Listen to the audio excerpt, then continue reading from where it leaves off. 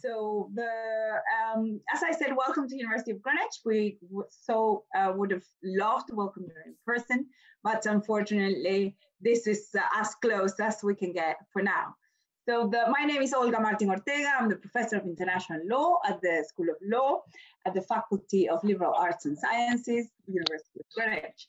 And together with a team of amazing people uh, presenting today, uh, we've created the Unarchived project.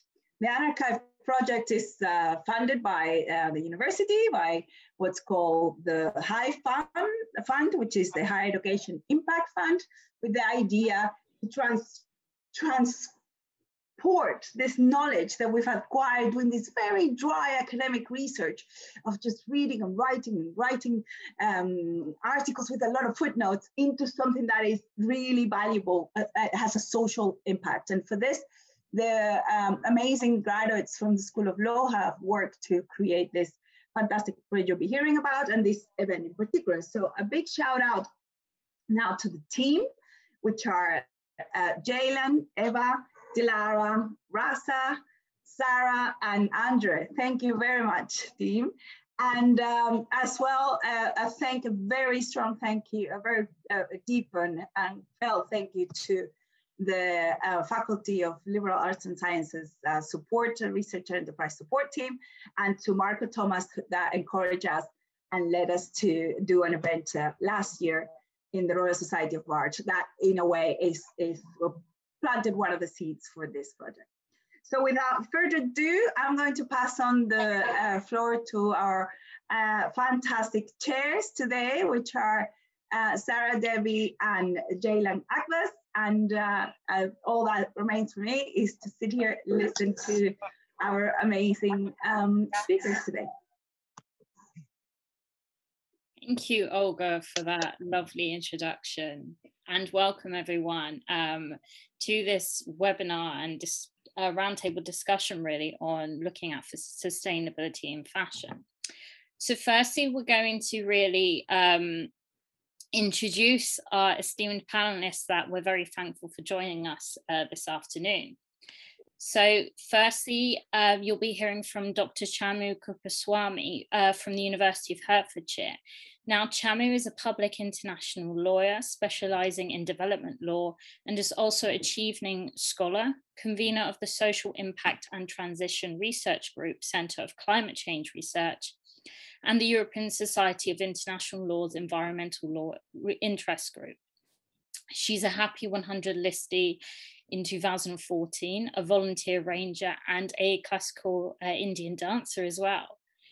Um, so we'll be hearing a lot from Chamu with regard to her work that she's been uh, conducting, I believe research as well, into um, the Indian sari. Wuzzy uh, is our second panelist, and Wuzzy Omiyale is the founder, designer, and tailor of By Wuzzy, which is an independent denim brand which focuses on sustainability and eco consciousness.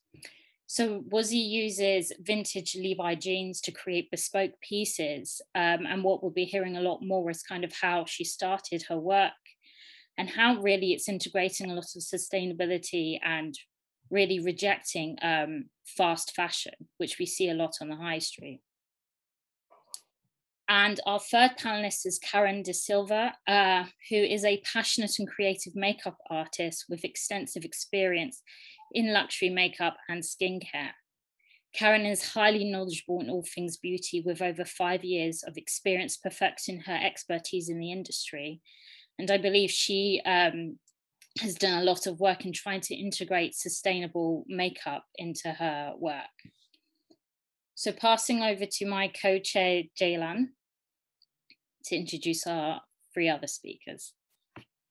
Thank you, Zara. Um, and our lovely speakers that have joined us today.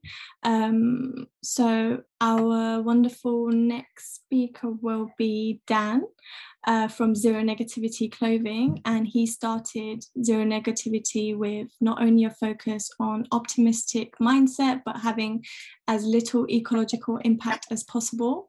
Um, he set about building zero negativity from a company selling two types of white t-shirts uh, to the supplier of thousands of sustainable garments that it is today, um, with customers from all over the world. And he deals with the day to day running of the company and is the primary sales contact, yet still has a hand in design, production, and customer service. Um, and then we have Liz from the OR Foundation. Uh, which is a USA and Ghana based not for profit working at the intersection of environmental justice, education, and fashion development. Uh, the last five years, Liz has been working on um, in solidarity with the Kantamanto ecosystem to advocate for a more just secondhand clothing system, whilst also working to make improvements and um, to waste management and labour conditions on a mission to catalyse a justice-led circular economy in uh, Accra in Ghana. Um, and then our final speakers will be the unarchived textiles. So Dilara and Eva will just be making some announcements and some dates for clothes swaps and collections. Uh, so yeah, should we hand it on to the first speaker? Yes, so our first speaker will be Dr. Chamu Swami. So Chamu, should I share your um, PowerPoint? Yes, please. Yeah. Yes, please. Um, Thank you very much, everyone. Just very delighted to um, be here. Um, while Zara shares the slides, I think I'll just start by saying that in 2015, the UK Supreme Court started looking at climate change and the rule of law. So what was quite interesting was that they included the Commonwealth judges in looking at the climate change and rule of law. Now, there's some good reason behind um, going international although we have a lot of work here in the UK to do about addressing climate change and emissions. Um, as it happens, the three big uh, emitters of greenhouse gases, which are responsible for climate change, are China, India, and can you guess the other country? No? Right, this is not a Q&A session. So um, the, uh, the, the thing about India is that the uh, country is not just one of the three biggest emitters of greenhouse gas, but it's also the fastest growing emitter.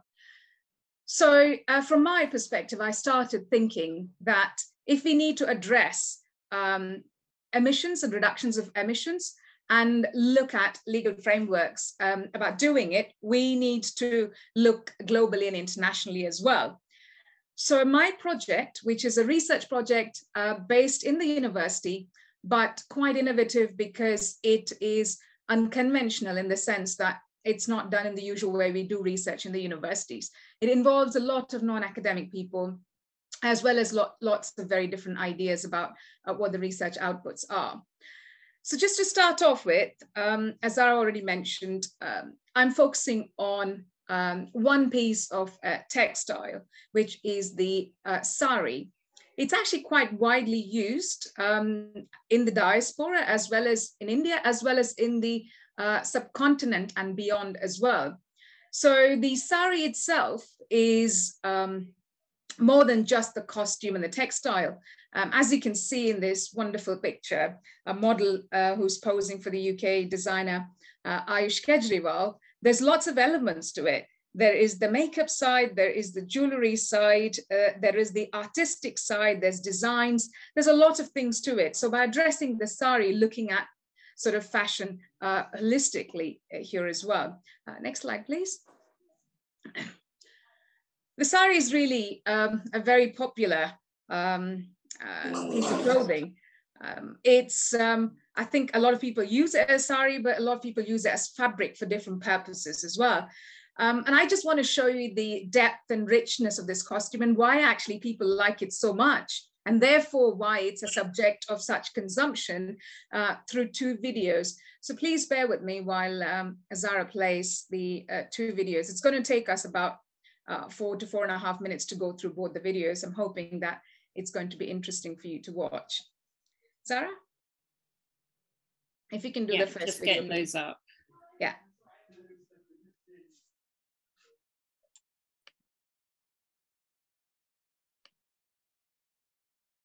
Sorry, just bear with me.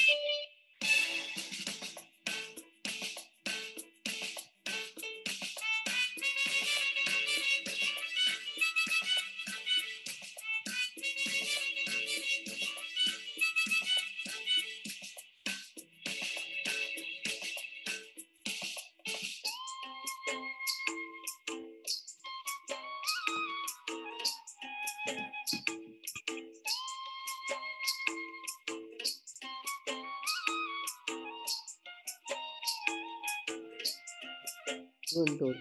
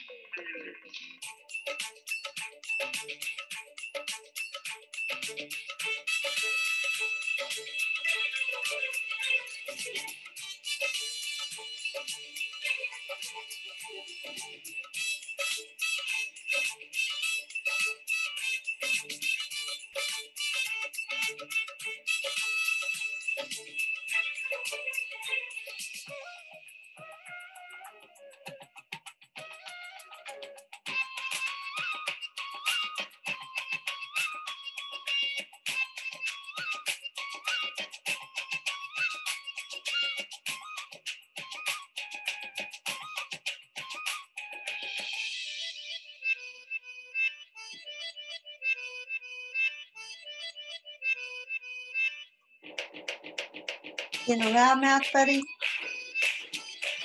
Huh? Being a loud mouth? You got your talk?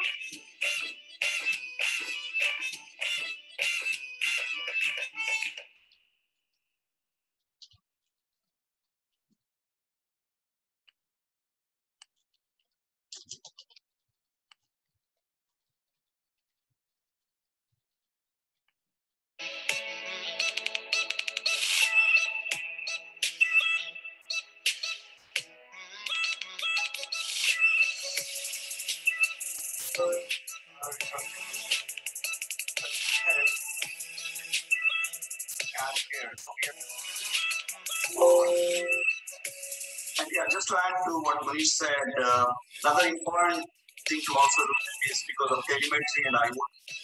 Uh, any product or any equipment, company, product companies, uh, and in the space, where if you're able to measure and bring it in, and then you can always offer it as a uh, as a service business model, which is becoming more and more popular now. And uh, so you see, though it, though it is started with the uh, you know some of the technology, uh, the offering has started with that, but now it's applicable across the industry sectors right now. Thank you. I don't think we, we have any more questions.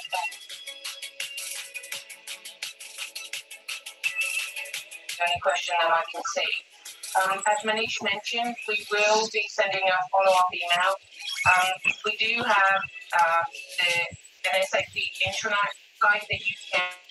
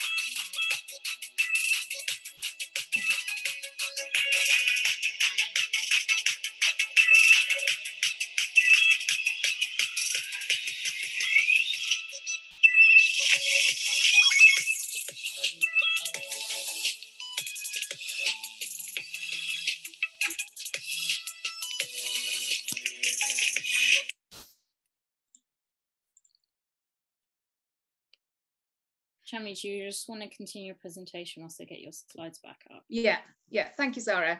So that was an introduction to the range and breadth of um, the, uh, the sari itself.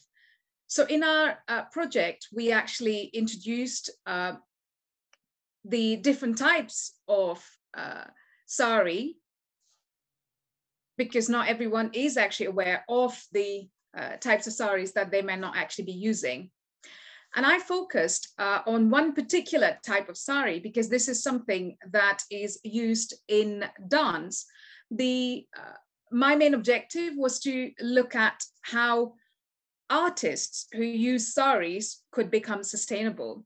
So some of the values in the focus group discussions that we actually um, came up with was uh, longevity was one of the um, ways in was one of the key values in how the dancer used the sari. It was also connected to memories and heritage, which was also linked to the uh, issue of longevity. This particular type of sari is a uh, is something that's done on a small scale. It's a small scale industry with um, uh, handloom, so there's ethical values inbuilt into the sari. Um, so this is just a tip of the sort of issues that we encountered in uh, talking to those who use uh, saris in uh, dance itself. Next slide, please. We then also looked at the sari as a whole with its uh, makeup. The results that came out from this were twofold. We identified sustainable practices. Uh, for example, there was the use of natural material for makeup. So the red color, the black color that you see as part of the make makeup that was used. Uh, traditionally, there was a lot of use of that. So we listed a range of uh, different sustainable practices. And then we also identified uh, emerging practices with respect to sustainability. Uh, and we found a number of issues, three of which I've actually listed over here, and a few more uh, we are in the process of um, analyzing and um, bringing to the fore. The Instagram dancer uh, often came out as um, being quite unsustainable in terms of the uh, increase in the costumes that are then required for new Instagram pictures, etc. I think you get the um, sort of idea. Next slide, please. Um, we also had um, uh, a look uh, outside of the focus groups with dancers and um, with uh, those who actually stitch costumes. And um, I looked at particular um, legal interventions that is possible. I've just put this slide in here for um, you know, if there are any uh, lawyers in the group here, um, the key question that I was looking at is how can an intellectual property law mechanism, uh, especially one that's known as geographical indication, be used towards sustainability? If that's something that um, people are interested in, I can pick up later on.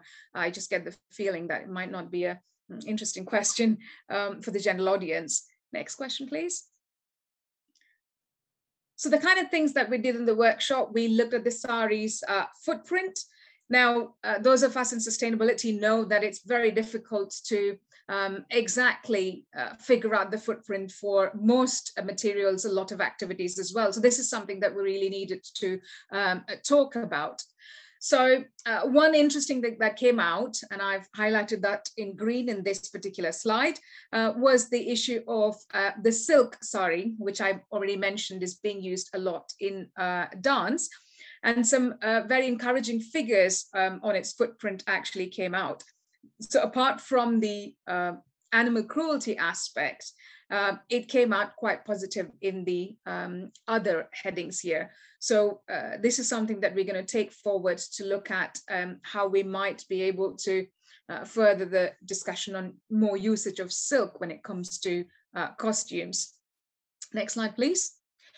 Um, and this is uh, sort of my last slide the uh, discussions and the conversations we've had about how dancers could use uh, SARI sustainably is leading us to devise a fashion charter for South Asian arts. This is basically a commitment to know by those who are using um, textile, makeup, and related um, objects and materials to know what the footprint actually is and then to actually act using a lot of different sustainability practices.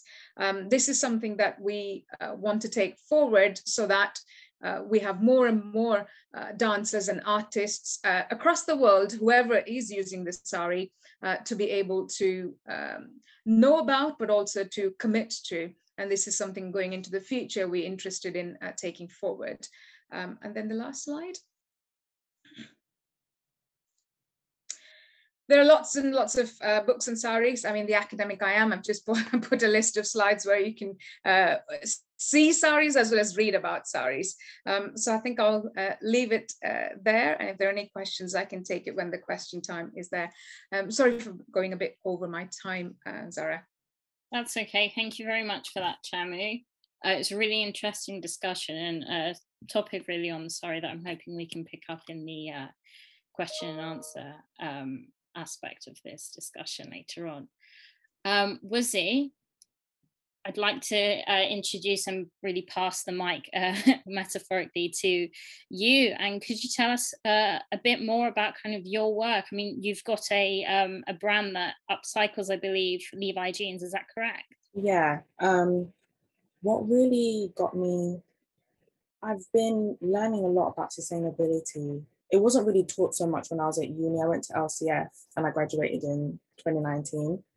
And it wasn't a huge topic like um, sustainability at uni. So I wasn't really interested. I didn't really think there was much of a, a huge conversation about it in terms of fashion. It it hasn't only it's only really started becoming a huge topic in fashion like lately, if I'm if I'm honest. Um, especially during the pandemic, it was a very huge conversation um, last year. Um, but after I left uni, it was something that I felt like it was important to get myself into. If I was going to start a fashion brand or become more involved in fashion and learning more, I think it was important for me to um, go about it in a more sustainable route. And then when I learned about eco consciousness, it's not just about the clothing. It's about literally making sure that every step um, in your life you're having a you're you're more conscious in your in what you do in terms of um, being sustainable and recycling and reusing and not making everything short term basically. Um i have a like oh yeah also thank you for thank you for for this and um you know making me speak and things like that but yeah um a quick little statistic. Um it says here well i got this from i think fashionrevolution.co.uk um, it says the average customer can waste up to 70 pounds of clothing per year and globally, we produce up to 30 million tons of waste each year, and uh, 95% which, and 95% of which could be recycled or reused. And basically, that's where I come in, where well, By Wuzzy is a sustainable and eco-conscious denim brand that I started last year, and um, I I use, like you said, vintage Levi's to create new pieces. In, in my opinion, that only makes sense. If I do ever get myself into using rolls of fabric again, it'll be more of um discontinued fabric, if that, to be honest. But I'm really on this path of being smarter with when it comes to fashion. Um, I think does fashion, I think one of my questions was um sorry, I'm not very good at like intertwining no my um but um is fashion a threat to the environment? I think the general answer is yes. Yes, fashion is definitely a threat to the environment, but it's illegal to to go outside naked. So until it's legal to go outside naked, I guess we have to wear clothes. And that's why I try to be um, open about the fact that yes, I would love people to enjoy my enjoy um, my designs and of course buy um, pieces that I produce, but to think a little bit more about instead of um, think about more of quality. Think about um, instead of going being so hooked on sales, because I think last year it was like Pretty Little Thing and Boohoo did like a 99 99% sale. And of course that draws you in. Oh my gosh, what can I buy? What can I buy? That's like 2p. But it's not, first of all, it's not gonna last very long. And you're gonna have a bunch of clothes that was made by by people that work in bad conditions, um, don't get paid a lot, and I think that's something that Pretty Little Thing or the Boohoo team is getting like sued for at the moment. So it's like that's what I try to. I don't want to be too heavy and push because not everybody is in that place, but I think it's just important to just be conscious of it and have that in your mind. Um,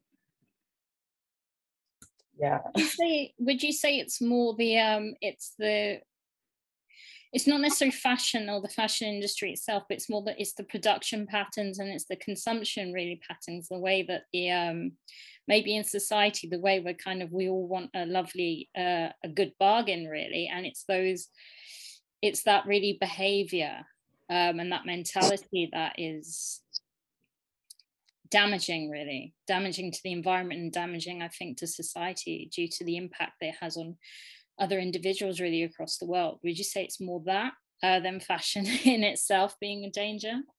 Yeah i think you, just said it perfectly. I think it's it's the mentality. I think what when we are able to like i said be more conscious and slowly think change our mentality in terms of um, the sales and the bargains and wanting all of that, I think that's when slowly the um, brands will start changing the way that they market as well, because maybe we won't be buying so much.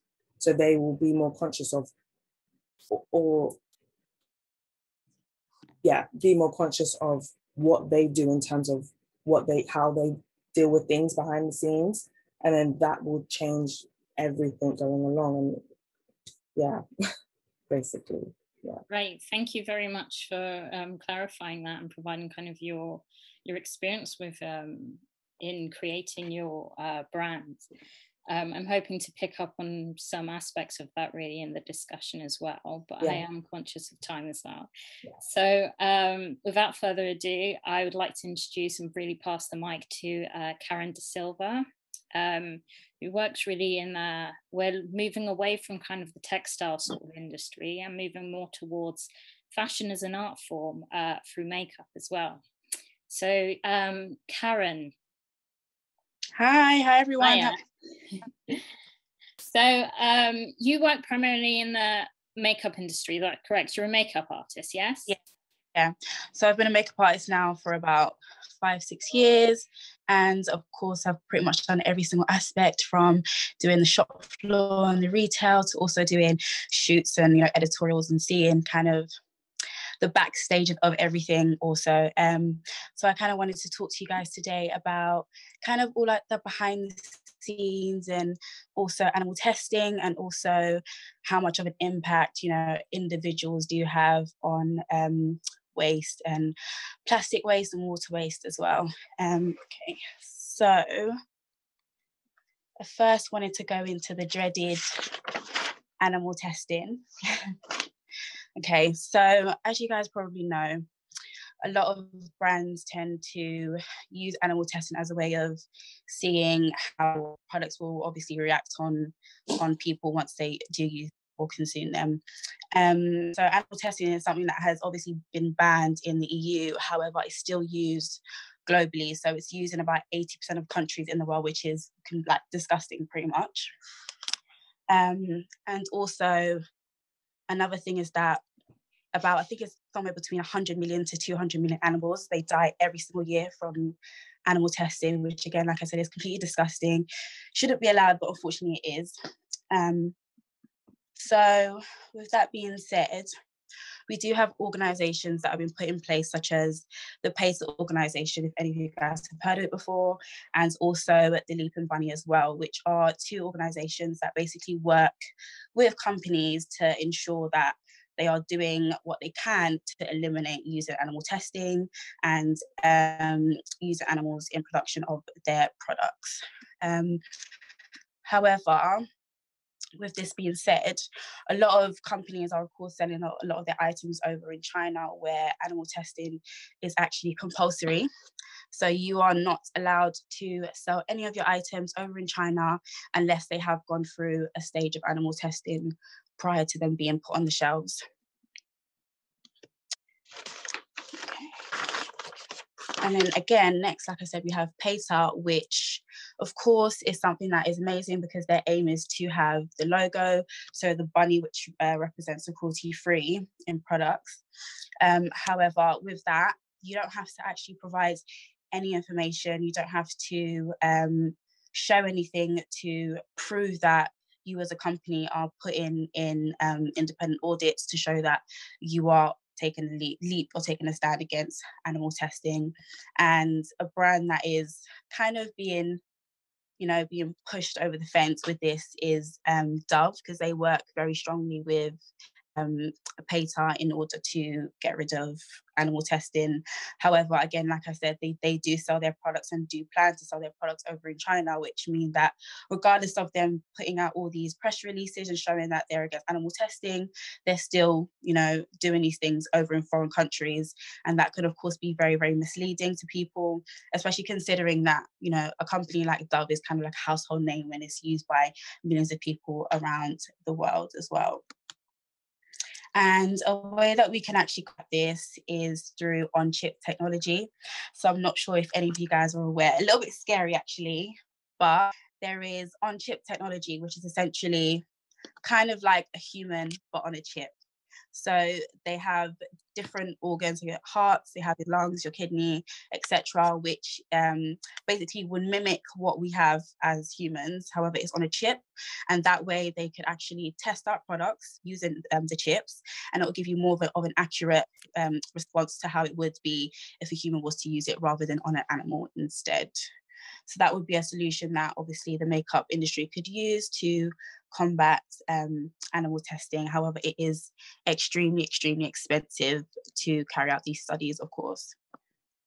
And then secondly, I wanted to go into our water consumption because um, this strongly, of course, links into animal testing. Um, obviously, in, in order to nurture these animals and, you know, look after them, a lot of water is being used. And I think it's about 80% of the um, formulas that are on the market at the moment um, contain water and use a lot of water when it comes to the animal testing also.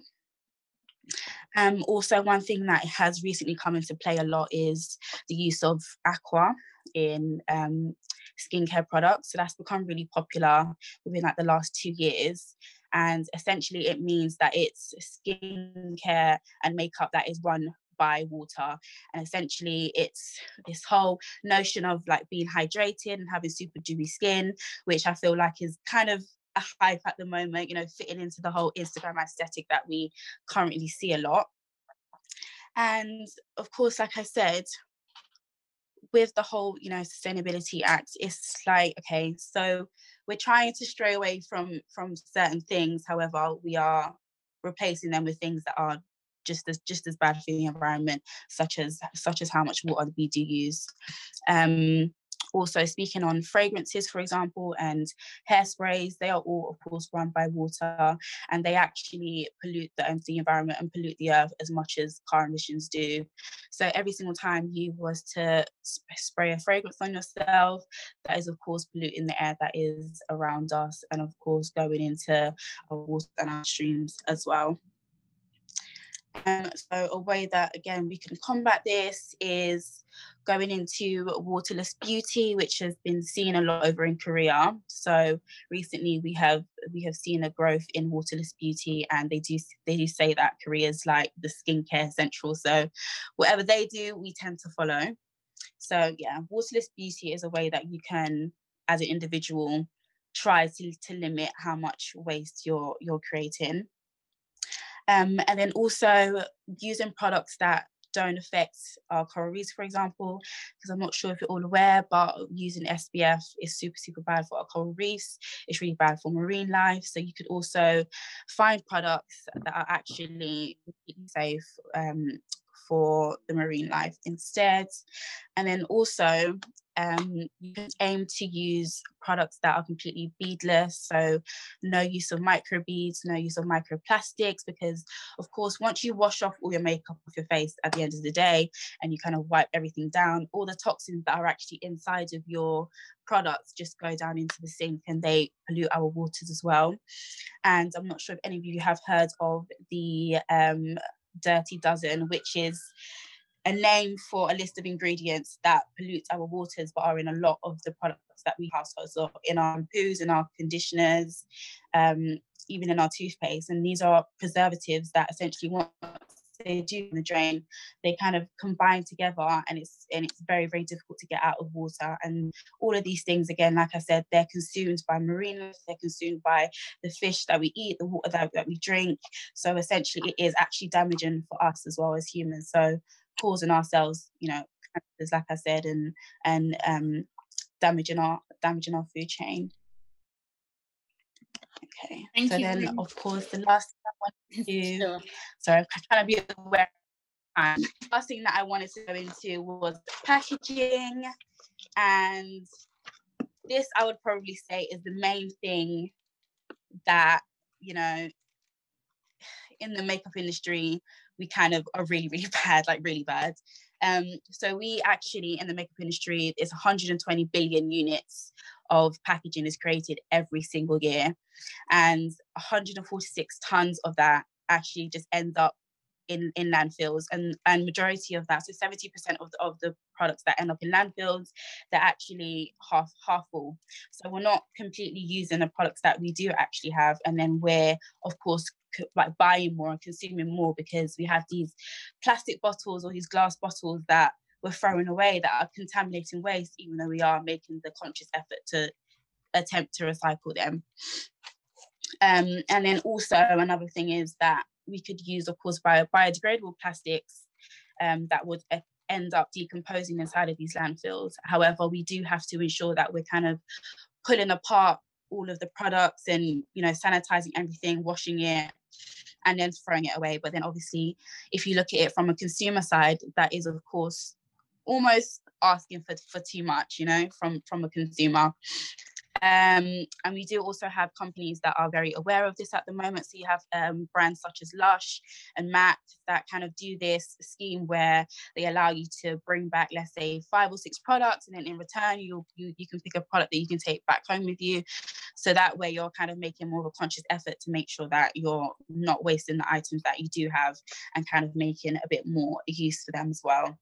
Um, and then you also have companies such as Garnier and Weleda and Colgate as well that actually encourage you to bring back the items that you um, do have that, that are empty and then that way they can dispose and recycle of them properly. So if you don't have have the resources to be able to dispose of your items they can handle that for you.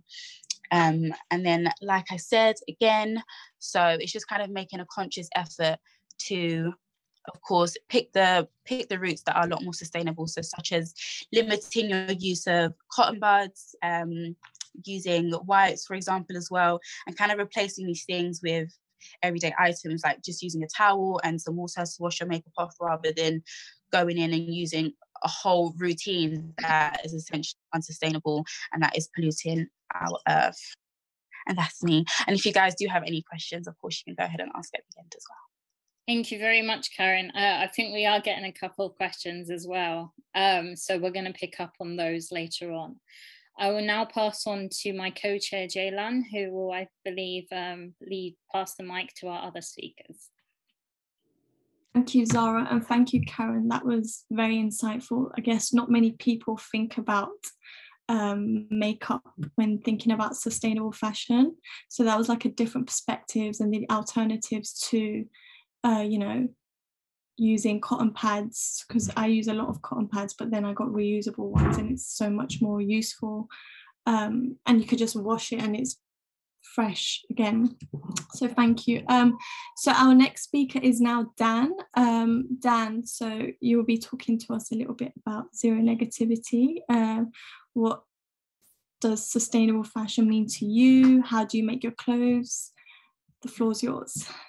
Right. Um, well, hello. Thank you for having me, everybody. Um, so I kind of stumbled into this world, actually. Um, I was, up until a couple of years ago, uh, a miserable police officer based in York. Uh, and it was, I was looking for a way out, basically. And I had no, I'd never had any interest in fashion or any kind of background in it or anything like that. Um, and I was, I'd kind of forgotten where the kind of, uh, idea for the business came from. But then I was talking to Ian about it, and we, we recalled this conversation that we'd had in in John Lewis. So we don't we were walking around John Lewis, looking at stuff, having a chat and a coffee and what have you. And I picked up a T-shirt, and I think from memory it was a Lacoste T-shirt or something like that, and it was like sixty quid for this see-through white T-shirt with a little crocodile on it. And I thought to myself, there's no way this should cost so much for something that is in reality doing very little to help anybody along. You know, the Lacoste and John Lewis will make a massive margin on it, and everybody who's actually put any work in throughout the process will, will make a minuscule amount. So that's kind of where the idea came from about let's start a fashion brand and make sure that everybody throughout the process is kind of looked after and um, you know, and, and, just kind of do the best we can. I didn't know anything about sustainable fashion or fashion at all at that point.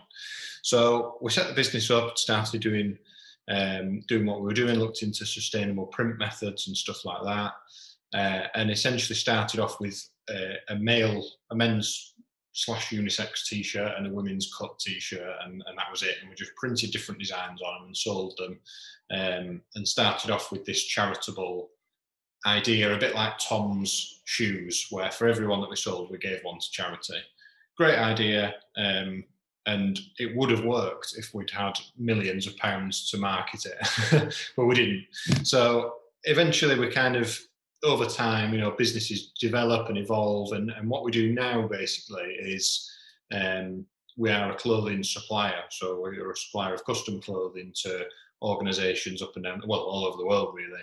Um, and with our kind of thinking behind that is that fashion brands, sustainable or not, are essentially encouraging people to buy things that they maybe don't need. Um, because if you bought, you know, the kind of buy well and buy once kind of idea. Whereas the money, if you're from a commercial point of view, you're trying to make a living, you need people to buy more than they actually need, which which obviously isn't the most sustainable business practice. It's kind of a bit of an oxymoron. So then we thought, right, well, how can we let, let's look at people who legitimately buy clothing and see if what we can do is they're going to buy it anyway universities football teams those kinds of things. They're going to buy it anyway, so let's reduce the impact of the clothing that they buy. So that's that's kind of where we we started and we looked into. Um, and I wasn't really aware of any of the science or the actual statistics behind it. And I think once I looked into that and started reading up on it and learning more and incorporating that into our um, marketing copy and, and the sales pitch when we'd speak to potential clients, they're blown away by it, and I was as well. When you know you look at uh, a, a, typical hoodie, for example. So universities, the reason I'm kind of involved and, and know a few people down at Greenwich is because universities are one of our big sectors. Um, because obviously they buy hundreds, if not thousands, of hoodies and t-shirts and sports kit and stuff every single year. When you look at the numbers, water, just using water as an example, because um, Karen touched on it before, a, a, conventional cotton hoodie that's just made from your kind of your cotton that's GM modified and everything like most of the cotton is that's in use nowadays uses nearly 10,000 litres of water to create a single hoodie. You switch that over to organic cotton, it reduces that impact by 91%. And that is obviously an, an enormous saving alongside um, the energy statistics and the CO2 emissions that, are, that, that reduce as well through the use of organic materials. So that was one side of it. And then the business, we thought there's probably loads of businesses that say, oh, yeah, well, you can buy an organic cotton hoodie off us. But we decided that what we were going to do is not just have an organic offer, we just said, right, everything that we do is going to be sustainable. So every product that we offer is either recycled or organic or a blend of the two um, or it's made from something that's recyclable, you know, or, or not single use. Um, and every stage of our process is sustainable as well. So we don't we don't we don't screen print with plastic inks or anything like that. We only use water-based ink, um, and our print methods aren't the kind of normal ones that you'd get from a from a t-shirt supplier which is what we are essentially at the end of the day. Um, our packaging, we don't use any plastic packaging. Uh, we offset all of our carbon emissions, even though they're extremely low from what was calculated. We use the carbonfootprint.com um, company to kind of estimate our the, the the little amount that we do actually emit. I think for last year it was something like 260 uh, kilos or something. It was a it was a real small amount. Um, and we we offset through tree planting schemes 10 times our carbon emissions so the, only neg- what we do say is the only negativity we like at zero negativity is carbon negativity so it's a bit cringe isn't it but um so yeah so that's us uh, our kind of main focus for this year is what now universities are starting to open up again is getting back in there with people like Greenwich and um, we work with Lancaster, Manchester, Bradford, Leeds Arts, Exeter.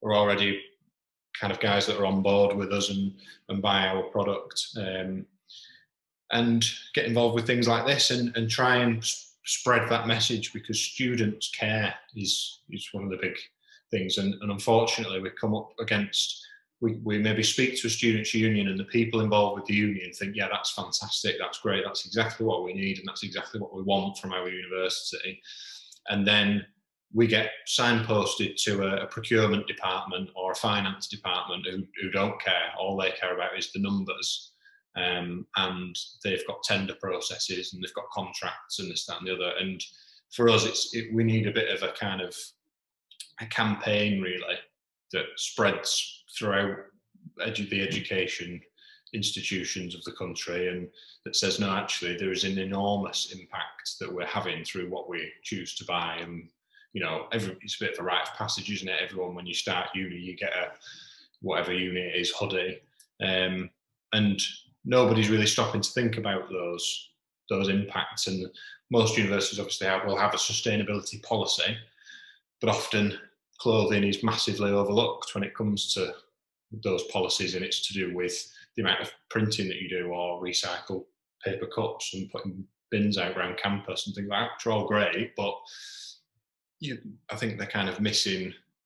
There's low hanging fruit, is what I like to call it. You could have an enormous impact by just switching over to a more sustainable um, clothing option. And it's it's it's apathy a lot of the time is our biggest enemy when it comes to stuff like that. So um, yeah, I've got some kind of questions that I'll answer a bit further down that I got sent before. So you know during the question and answer session about our materials and, and a few other bits that we do day to day within the business. Um, uh, but I will uh, hand the mic back, as it were. Thank you so much, Dan. That was very interesting. Um, should we now pass it on to Liz? Because I know we are short with time. Um, I'll share my screen. Perfect. Thank you. So, hi everyone. Um, very nice to be here, and I've really enjoyed the conversation so far. So, again, um, just brief recap. I'm Liz Ricketts, co-founder and director of the OR Foundation, we're a USA and Ghana based nonprofit. And for the last five years, and sort of what I'm going to be focusing on is our work in the secondhand clothing trade, um, which we've been working with the Kantamanto community in Accra, Ghana since 2016. And let me just see, I don't know if, is it, are you able to share the slides? Yes, one second. Okay, just making sure. Like, I can share. Um, so real briefly, when it comes to this topic, um, you know, we engage at a lot of different levels. So consumer awareness, um, speaking directly with brands, um, advocating for garment worker rights, engaging in conversations like this. Um, but our goal, again, is really working toward the justice-led circular textiles economy, which I'm happy to answer more questions about in the Q&A. But I think to be able to get there, I need to offer you some context on what the secondhand clothing trade actually is because when most of the time when all of us donate clothing, we put it in a bin or we drop it off at a charity shop, that's the last that we think about it. We don't really consider what happens to it after then. Um, and there's also a lot of myths that have been built into this industry around it being charity when it's really not charity, and also around it being considered recycling when it certainly is not.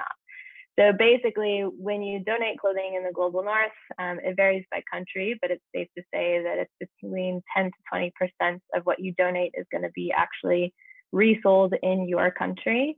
And the rest of it is going to go through a very long, invisible supply chain that often will involve going to multiple countries um, and being sorted out by quality until it eventually is exported typically to the global south. And so for me, just this is a good place to start, which is that, you know, what many of us consider as secondhand is actually the primary supply chain for over half of the planet. And so all of the conversations that we're having as a sustainability community about labor rights, about environmental impact within what we call the first-hand economy, we need to be having that same sort of critical lens when we're talking about the second-hand economy. Next slide, please. So um, again, uh, we work in the Kantamanto ecosystem. So Kantamanto is the largest secondhand clothing market in West Africa. It's probably the largest in the world. Um, just by size, it's massive. So the retailer side of Kantamanto is seven acres in size, and the importer side, which is right next to it, is about 15 acres. And every Thursday, every week of the year, importers unload these containers um, that contain over 400 or more bales that have been shipped by the global north. And on Thursdays, retailers buy these bales for anywhere from $75 to $500 a piece. And each bale is basically um, priced off of two factors. So one is the country of origin, and two is the garment type. So ladies' tops from the UK, men's jeans from the US, for instance. Um, Kantamanto sees 15 million garments a week, um, and the population of Ghana is just over 30 million people. So that's a lot of clothing. And there are at least 5,000 registered stalls in this market and an estimated 30,000 people total who work here. Again, most of them selling and upcycling used clothing, but there's also restaurants, banks, other businesses, and you know people sort of servicing the retailers. And Kantamanto is in the heart of Accra, so it's nestled between two very massive food markets so the point being that there's um, a lot of people there every day, six days a week shopping. Like you're pretty much never not touching another human being or a pile of clothing. Next slide. So there's a lot of different ways to um, think about Kantamanto and they're all equally important. So one is that it is a model of sustainability. Um, Ghanaian citizens have a very different way of looking at clothing um, than most of us in the global north because they grow up taking cloth to a local tailor and having things made to fit their body. So they have a very intimate um, sort of relationship with fashion, and they apply this to the way that they shop um, secondhand. And it's this kind of consumer agency and what you know what is considered indigenous sustainability logic that makes Kantamanto a model of again what we in the global north now call circularity. The Ellen MacArthur Foundation, which is a leading circular economy think tank, reports that doubling the number of times a garment is worn could lower fashion greenhouse gas emissions by roughly 44%. And you have a lot of technology enabled resale platforms like ThredUp or Vestiaire Collective um, that are attracting you know, a lot of investments and media attention globally for their work. Um, but I bring all of this up not to detract from what they're doing. All of that is very important. But what's important to also understand is that Kantamanto is responsible for extending the life of far more garments than any reuse platform in the global north. So for comparison, ThredUp's 2020 report states that they have recirculated 100 million items total since um, they started about 10 years ago. And by comparison, Kantamanto recirculates that same amount every four months. Um, but the difference being that whereas platforms like ThredUp have received $300 million in investment, Kantamanto retailers are going into debt um, and they have no outlet after they cannot sell it. Um, Kantamanto is also a model of sustainability because it's not, again, simply a place to shop. Um, it's also basically a design studio and a factory all in one. So there's clothing constantly being rethought and reworked at all levels. There's tailors and seamstresses, screen printers, whole sections of the market that are dedicated to kind of over dyeing clothing and then also people there just committing to acts of care like ironing mending and washing the clothing that we send next slide um, but Kantamanto is not a utopia. There's no such thing as a retail utopia. Um, secondhand clothing markets, you know, cannot absorb everything that we are creating. Um, at the end of the day, our research found that 40% of the clothing that's flowing through Kantamanto leaves the market as waste. And that's usually within only one week of landing at port. So that's a very short lifespan. Um, and I want to be clear, you know, this clothing is not going to waste because it's unwearable. Um, it simply does not have enough value because the sheer quantity of excess has kind of driven down the prices. And also because this amount of excess teaches people that clothing is disposable. Um, clothing waste from Kantamanto is handled in two ways. So one is formally by the government and two is informally um, just by individuals. And in terms of formal, um, the local government, the AMA, they pick up 70 tons of clothing waste from Kantamanto every single day.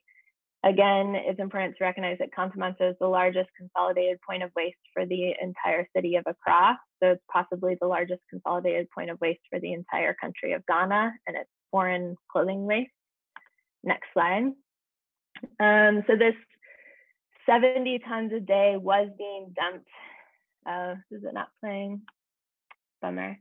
Um, was being dumped in Kpone landfill, and the video is not playing, but um, it's a video of a fire that happened at the landfill. Um, secondhand clothing from Kantamanto alone represents 20% of the planned capacity of this landfill, which is very high. So in the global north, it's typically no more than 8% of landfill. Um, and again, there's this question of like, why are we sending clothing to countries that don't have landfills? And it's important to recognize that kind of a sanitary landfill or what we um, what we know of, of as a landfill in the global north, that's very expensive. Um, and it's uh, sanitary landfills are pretty much exclusive to the global north. Um, and so Kpone actually was financed by the World Bank. And when they were making plans to um, for this uh, landfill, they basically did not account for foreign waste. You know, why would they account for foreign waste? And so in 2019, it caught on fire, um, it exploded, and it's been unusable since. Um, and I happened to be there that day, and I'm sorry you can't see the um, video. Are you able to pull up for the other slides?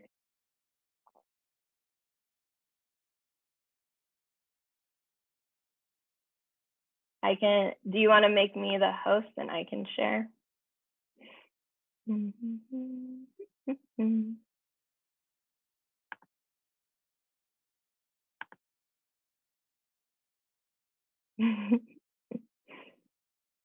okay, so um, this is now, all right, so before I talk about this, basically a lot of the clothing never goes to the landfill. Um, even before it exploded, it wasn't um, being sent there because there simply isn't the capacity to deal with it. So most of the clothing waste is actually ending up directly in the ocean. Um, you know, millions of garments sort of washing up on the shore. And then this image that you're looking at is an informal settlement um, where a lot of the clothing waste um, is sent. And this is in the backyards, you know, of where people live, um, where they get their water, where their cattle graze, um, and it's often um, burned. And there's 80,000 people at a minimum that live here. This landfill that you can see the picture of is 30 feet tall, and it's over 60% clothing waste. And this waste does more than cause environmental destruction, which is really important for us to always be thinking about, you know, what is it, uh, what is happening besides um, what's happening to the environment? Because this waste, because it is dumped on across most vulnerable citizens, is used to basically further disenfranchise them. So it's used to blame them, um, to blame people who are living in poverty for this um, filth, basically, and then that's used to target them for demolition. Um, so essentially to erase their homes um, and their communities. And similarly with the ocean waste, it's not just that it's causing uh, harm to the marine environment, but it's also that it wraps around the fishermen's um, like motors, which then becomes dangerous for them. They have to go further out to sea, which costs more money, but also the clothing waste is literally catching on their nets to the extent where we just a few weeks ago, I was talking to a fisherman who almost capsized because he was trying to pull his net up and it was caught on so much clothing waste. So clothing waste, again, clearly has environmental impacts. Um, but the other issue is the debt cycle um, that's basically fueling all of this. So when retailers in Ghana get a bale, um, they sort it into different selections and basically they have to make most of their money back off of just 18% of that bale um, which is why retailers call their job a gambling job, and less than 20% of them are actually making a profit. Go to the next slide. So quickly, the other social impact has to do with what's happening in the fashion industry. Um, so the, the secondhand sorry, the secondhand clothing trade has basically made it all but impossible for um, local designers to succeed because not only do they have to compete with the cheap price of a secondhand clothing, um, but it also means that they have to design for a foreign customer. So Ghanaian designers have to constantly be thinking about what someone outside of their country wants and designing for them instead of designing for people in their own region, um, which further just perpetuates colonialism. Um, last slide. The last sort of implication that I'll touch on is again the labor within this supply chain. So um, to transport the bales between the importers and the retailers, they have to be head carried and they're carried by women called kaiye, which translates literally to she who carries the burden. And most of these girls, they can be as young as eight years old. Most of them are climate migrants from the northern region of Ghana. And they're pay, paid barely anything um, to take these bales to and from between 30 cents to $1 per trip and they live in debt slavery, but also the labor itself is backbreaking and can sometimes be fatal uh, when their necks break under the weight of these bales. Um, because these bales, again, weigh usually their entire body weight or more. Um, and so that's the end of the presentation, but I'm happy to take questions about um, sort of what we're doing to change this or how you can get involved. Thank you. Thank you so much, Liz. Um, I actually have a question. Um, just moved. Okay. Um, yeah, I just had a question on um, why you wanted to focus on Kantamanto specifically as part of the OR Foundation and what you do to help the people working in the labour. Yeah, so I mean, we've been working in Ghana for over 10 years. Um, we started, I mean, my entry point into Kantamanto was doing upcycling. So I'm a trained designer and my work in sustainability um, around 15 years ago started from an upcycling lens. And um, we have, I mean, we have a commitment to this community. So for us, you know, it's, it's a community that I've been engaging with for most of my adult life. And the reason that we decided to focus on the research was because what we the way that the conversation around circularity, the way that the secondhand clothing trade was being positioned um, as inherently positive and sort of um, oversimplified narrative was not matching up with what we knew on the ground. And so that's why we launched the Dead White Man's Clothes Project in 2016. And then in terms of what we do, we do a lot of different things. So we have direct aid, you know, food relief. Um, we do right now. Um, we're trying to open a recycling lab um, that will allow for us to take some of that waste and um, turn it into new streams, product streams, but in a way that really is prioritizing taking people out of debt. Um, and then with the KIA, we have a lot of different programs, again, trying to train them in new fields storytelling workshops, teaching them photography and videography so they can tell their own stories, um, apprenticeship programs, again, direct aid, and then a food sovereignty program. Amazing, thank you. I know there are a lot of questions, but uh, we're just going to move on to the final speakers who are the unarchived textiles.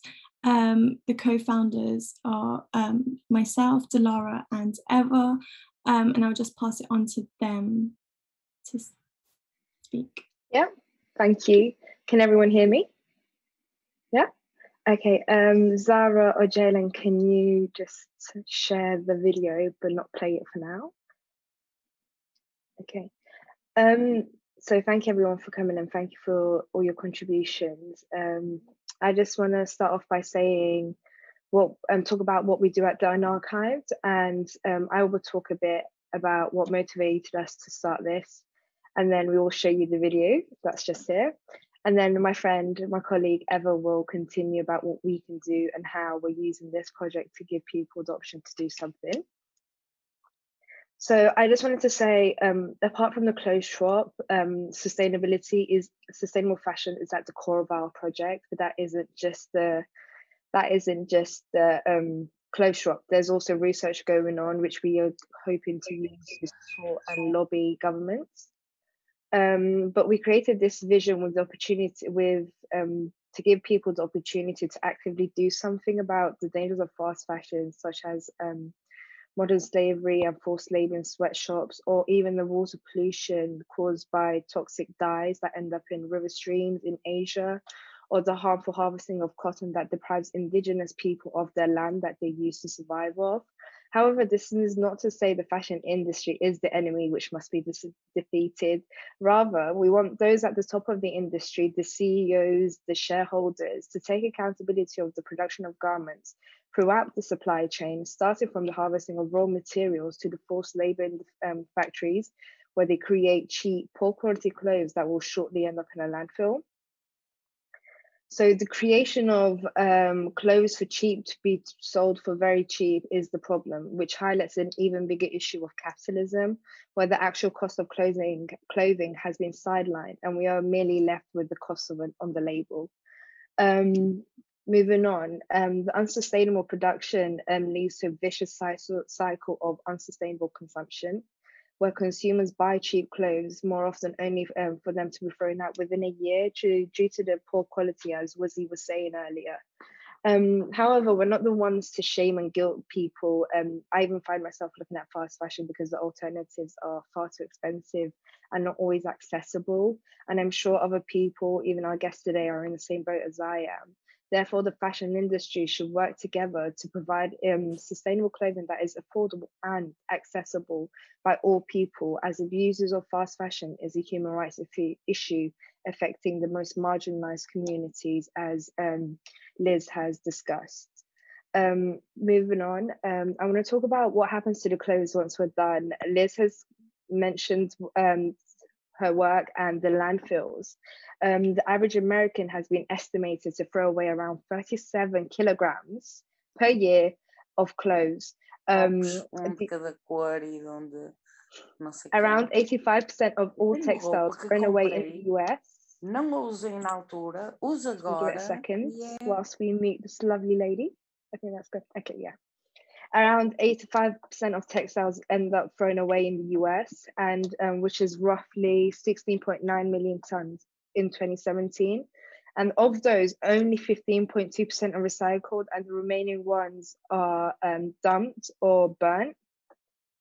Um, and most of the, these statistics are from the US, but that does not mean we're far from the reality here in the UK or even Europe.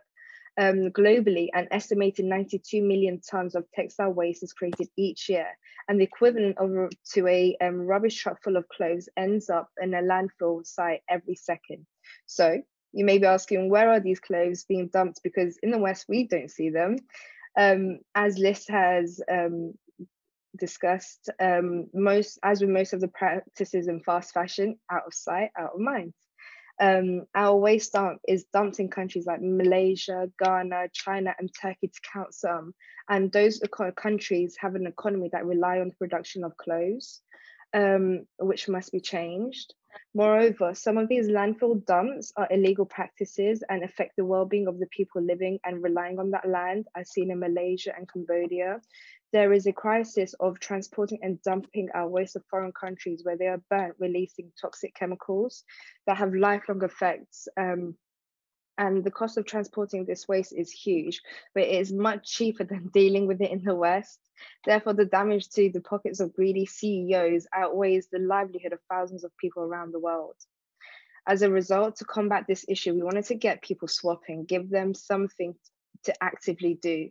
And this is this is something that we've done with our siblings and our friends and families for years. So why not do it within our community? So hence the clothes shop the opportunity to find new clothes without costing someone's lives and having to cheap having to pick from cheap um, fast fashion clothing and expensive sustainable clothing. And now we will have the video talking a bit more about what we do. Um, I think Eva wants to speak before I start the video. Okay.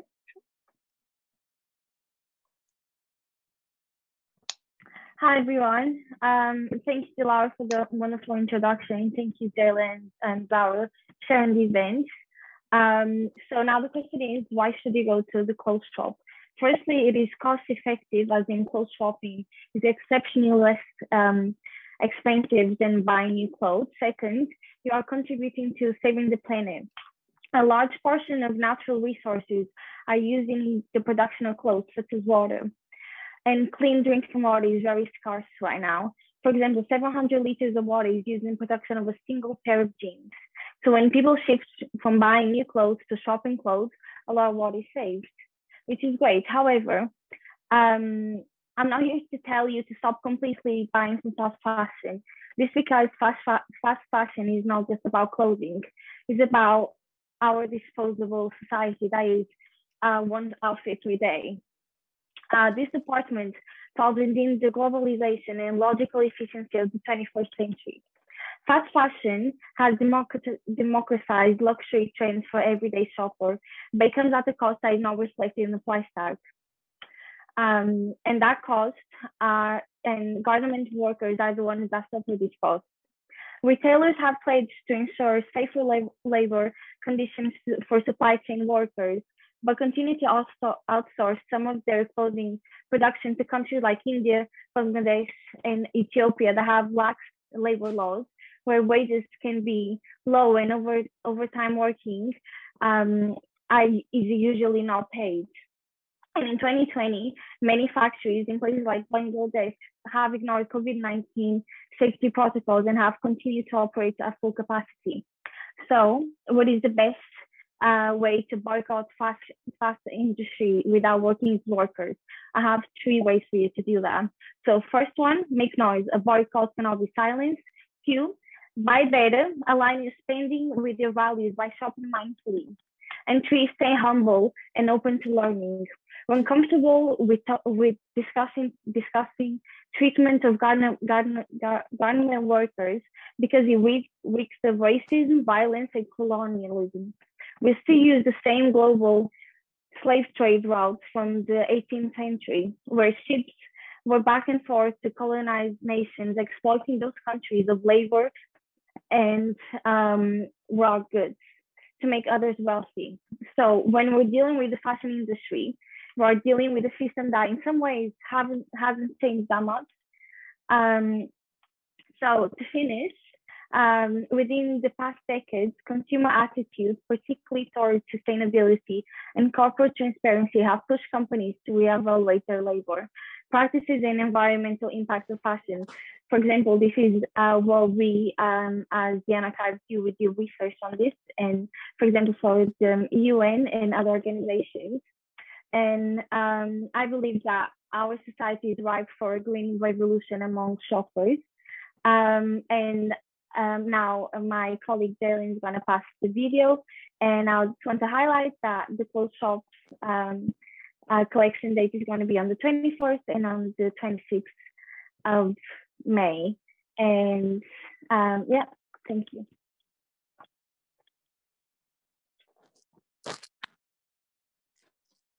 I'll share my screen now. Um, we are quite short with time, so hopefully we have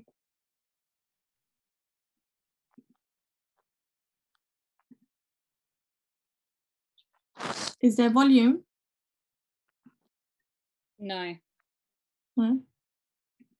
Maybe maybe we can send the video because if um and move on to the question and answer. Yeah. Yeah because if the sound's not coming through.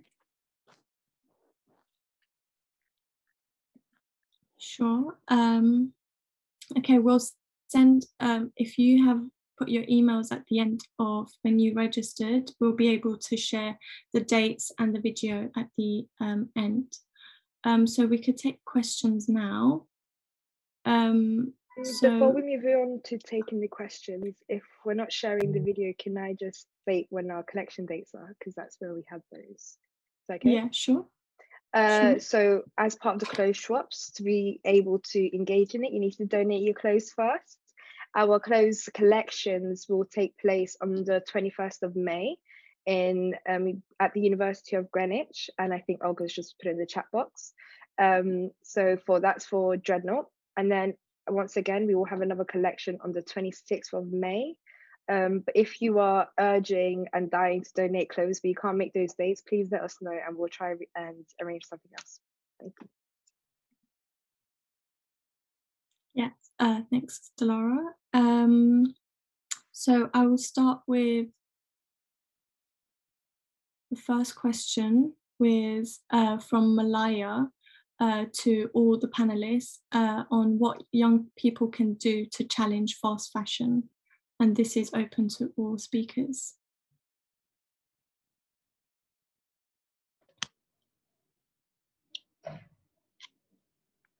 I would say I'll jump in. I mean, really, I mean, partly related to our work, but also I think very powerful for young people is is similar to what you all are trying to do, right? Which I think is very admirable, um, which is to buy nothing new for at least a year, um, which is to me not so much about the material impact that you're going to have as an individual. It's not as you know, unfortunately, you buying nothing new for a year isn't going to solve the waste crisis, but it's about the psychological detoxification um, because so much of what drives overproduction, overconsumption is this, you know, mentality that we are lacking, you know, and also that we don't know ourselves. Like some people always ask us why more people don't shop secondhand. Um, and I think a lot of it is because we've been taught that consumption should be convenient, that it should be the most convenient thing in the world, that you should walk into a store, see, you know, there's an advertisement that tells you exactly how to put a look together. You look on the rack, you can get anything in your size. And shopping secondhand is not like that. you have to dig, you have to really know your personal style, you have to know yourself. And so if you can take a year to kind of heal um, from this messaging that we all receive constantly that we're not enough and that we should be a certain way that will help you moving forward to make more conscious decisions. I definitely agree. I mean, me and Alex, uh, who's also on um, here, um, was actually taking part in a research project at a shopping centre, and us ourselves were being teased by the different items, everything looking so sparkly and fresh, and like, buy me, buy me. But you're like, no, I can't. yeah. But yeah, I definitely agree. Yeah, just to go off the back of that as well, I think it's kind of the knowledge of having um, the mindset where you're thinking to yourself, okay, I'm doing this for a bigger cause and a bigger picture rather than me just having that instant gratification of okay i've purchased this item i'm going to receive it tomorrow and then it's going to end up in the back of your wardrobe alongside all the other bits that you've purchased. So i think if you kind of like think to yourself okay when i'm scrolling on instagram yeah i'm seeing you know all these amazing looks and i'm seeing all these clothes and stuff but it's all very temporary and at, and at the end of the day you're purchasing clothes you know like you said for yourself to represent yourself and your style etc so kind of have to think of it with you know a larger goal at the end rather than just being able to just buy something and have that nice feeling of you know i've bought this and it's coming today definitely um, the next question is by Sultan, and she's asking whether why sustainable products are more expensive and thus less accessible. Very good question. I think I can jump in on that um, a little bit. I think I think it's it's not so much that sustainable products are more expensive. It's that the fast fashion stuff is is artificially cheap um, because don't you know the analogy I always use is if you can buy a t-shirt, for example, for less than the cost of a cup of coffee, then how how you know and, and if you think about retailers like Primark who um, I think it's quite widely reported they make about 130% markup on just you know the stuff that's not in their sale, and it's that even that it's three fifty or something for a t-shirt, isn't it? So if you think about someone has to buy a cotton t-shirt, for example, cotton seeds, they have to rent the land, they have to plant them, grow them, look after the crops, harvest them, turn them into a textile, and all the stages that that goes through, and then it goes to a factory and it's it's shaped and cut and died and then it's shipped to the UK and it's put in a shop and you know and those if everyone in that state in that process has been paid properly um, paid the value of their labor and the value of their of the commodity that they've used then you wouldn't be able to buy a t-shirt for three pound fifty putting it putting it bluntly. So yeah, I think that that's my answer to it. Is that it's not necessarily more expensive. It's it's that the the other stuff is just too cheap, and it's often, you know, sometimes that they're, they're loss leaders as well. If you think about the was it Pretty Little Thing who did the um, Boohoo or something that did the one pound bikini last year, and it's they're, obviously not making any money on that. It's just to get traffic through the site, so you ended up you end up buying more stuff that you don't need. Um, but I do understand that the sustainable stuff is more, in comparison, it's more expensive and therefore does kind of exclude people who are on a tighter budget. And uh, you know, I've been a student, and you have to buy your your socks in Asda sometimes because it's cheaper. It's just it's just the way that it is when you, you have to work to a budget, and that's that's obviously a wider economic problem than um, than just fashion. Yeah, I would like to follow up. Sorry. Um, I'd like to follow up on that, and I just want to emphasize that when you're buying sustainable, you're also buying, um, you're also paying the salaries for workers that, um, if not, if you weren't paying that, they would be living in miserable conditions that have no uh, basic needs. So when you do that, you're paying, you'll know that the workers have uh, good payment, that the products are um, sustainable and ethical when it comes to other com- uh, companies like Previously or Primark, you know that the people doing that, um, doing those garments are are living in very degrading conditions, and the payment that they're receiving is just to survive is not is not to thrive. So when you do that, when you pay something that is sustainable, you're giving people a better option um, to live in just like when you when you buy fair trade be the same. Yeah. and to go back of um to go at the back of um what dan and what you just said eva it's not that sustainable fashion or sustainable brands are expensive. It's just that we're more ethical. Like that's just um just to put it simply but i can understand like not to shame people that do um uh, shop fast fashion because it's it's out there, it's going to happen. And it's true, the way to go off of the previous question as well, it's the way it's branded as well. It's more, it's just easier to buy. You don't have to dig through um, secondhand clothing, etc. But yeah, just to put it simply, it's just more ethical and it it's you, when you're buying off of a, a sustainable brand, it isn't just you're buying off of somebody's like idea and hard-earned work and i think that's maybe the way we have to think about it just change the mentality slightly so that you can think about it and you're saving up for a more better quality piece that you have in your closet that will last a lot longer and you wouldn't just maybe throw away within maybe six months because of the quality it, it would last a lot longer in your closet. So it's more cost per wear, basically. Um, thank you, Rosie. Um, Chamu, I'm not sure if you're still here. Just wanted to ask the last question before we close. Yeah, very much, yeah. Yeah. Um, so there is a question for you specifically. Um, so is it possible to use blockchain to achieve sustainability, especially in supply chains? Yeah, I saw it in the beginning. Uh, thanks very much for that question. Um, I've certainly seen blockchain for like uh, banking and um, land issues.